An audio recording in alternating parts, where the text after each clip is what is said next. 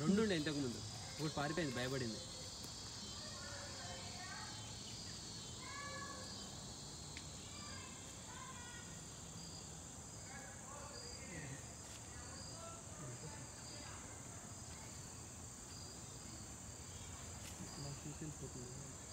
ఇంతకుముందు ఒకటి వెళ్ళిపోయింది.